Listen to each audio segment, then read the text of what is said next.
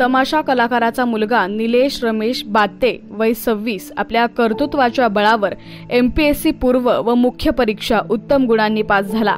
त्याला मुलाखतीत बाजी मारून आई वडिलांसोबत गावचं नाव मोठं करण्याचा आत्मविश्वास होता. परंतु काळानं घात केल्यानं अपघातात त्याच्या दोन्ही हातांना गंभीर दुखापत झाली. त्याचा रुग्णालयात मृत्यूसोबत संघर्ष सुरू आहे. यामुळे जीव वाचला तरी तो मुलाखतीत मुकणार अशी चिंता निर्माण झाली आहे.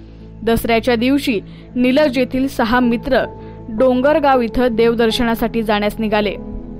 परंतु तिरोडा तालुक्यात सरांडीजवळ त्यांच्या वाहनाचा अपघात झाला. यात एकाचा मृत्यू झाला तर चौघ गंभीर जखमी झाले. त्यांच्यापैकी निलेश रमेश बांते वय सव्वीस हे गंभीर जखमी झाला. दुखापत झाल्यानं त्याचे दोन्हीही हात निष्क्रिय झालेत. चेहऱ्यावरही गंभीर जखमा झाल्या आहेत. चार दिवसांपासून तो गोंदिया येथील खासगी रुग्णालयात सुन्न अवस्थेत खाटेवर पडून आहे. निलेशच्या वडिलांची परिस्थिती तशी बेताचीच आहे.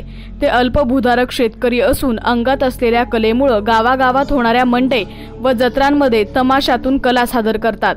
परंतु त्याने निलेशच्या मनात निर्माण केलेल्या जिद्दीच्या बळावरच त्यानं या यशापर्यंत मजल मारली आहे मात्र अपघातामुळं ऐन शिखरावर चढण्याच्या वेळी तो रुग्णालयात पडून आहे.